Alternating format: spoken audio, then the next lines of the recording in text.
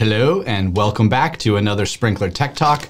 Today we're going to be reviewing the Netafim TL-FV1 flush valve. Some people call it an automatic flush valve, but uh, what I wanted to do was take it out of the package, kind of show you how to install it on a piece of drip tubing, talk about what it is, why you need it, a little bit about how it works, and uh, hope you can find some value in this. What I'm gonna do is flip the camera over. Okay, so we can see the product. I cut the bag open already. Let's take it out. Inside, you'll have the flush valve, and then be sure not to lose whoop, this little retaining ring or compression ring. This flush valve is designed to go directly in the tubing. It sort of has this insert type fitting. There's another version of this valve that has male threads, so you can screw it into a to a female um, or a female thread or an adapter. But again, this one is meant to go directly on the piping. So here I have a piece of Netafim Techline CV. Uh, what's funny is I cut this tubing and look, it cut right through the emitter on that side. So we'll go ahead and use this side. First thing you're gonna do is take the retaining ring and place it onto the flush valve. And then you just simply push the flush valve. Sometimes it helps if you wiggle it back and forth as you insert it into the Techline and pull back on the retaining ring. Kind of put some good amount of pressure on there, pull it back as best that you can, and that will hold this in place. Again, so as the pressure on the tubing starts to, to push on the flush valve, the retaining ring is gonna hold that in place. Okay, so let's look inside this. A flush valve is a very simple device. Some people will refer to it as an automatic flush valve. Even though there's nothing automatic in here, it's very mechanical.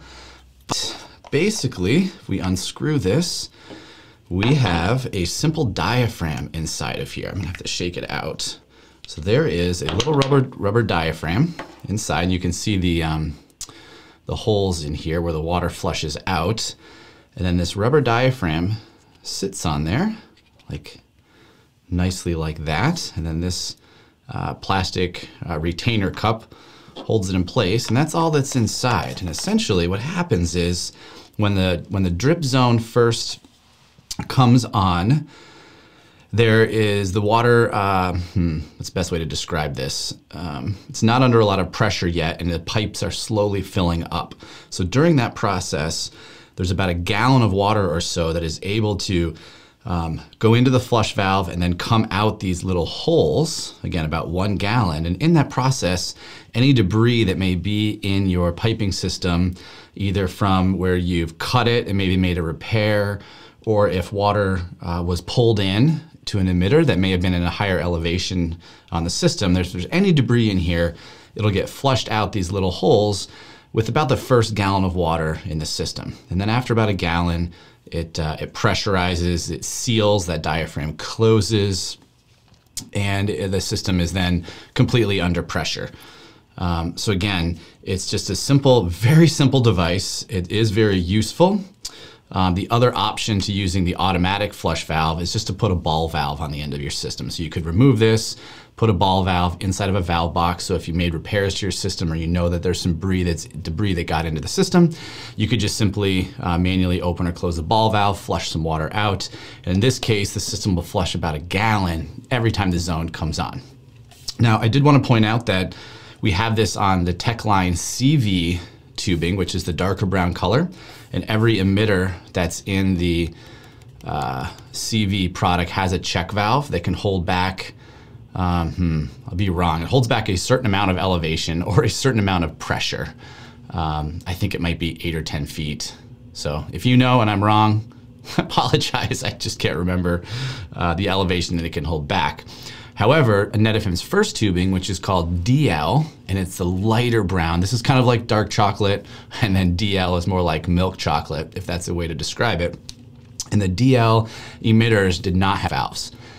And so it was important to flush the zone every time that that system came on because the emitters didn't have check valves, and so water could back siphon into emitters that were higher up um, in elevation and pull some dirt back into the system. So that's kind of the, the premise of the flush valve. Again, you've got two options, this automatic version, which has the nice diaphragm inside and flushes about a gallon of water every time the system comes on. Or you can put a manual ball valve on the system. And I've even seen people, you know, put a figure eight at the end, which uh, basically you can kink the tubing over uh, and put that figure eight clamp on there. And that's another way of flushing the system. If you dead end this in a valve box and you want to flush the system, you just remove the figure eight, flush a few gallons of water out of the tubing, and then close it back up. So very simple device and uh, hope this added some value and uh, you learned something here today. And uh, if we can be a help in the future, feel free to reach out. We are available by phone, email, and chat. So feel free to reach out to us anytime if we can help you with your Netafim drip system. And until the next Tech Talk, happy sprinkling, and we'll talk to you then.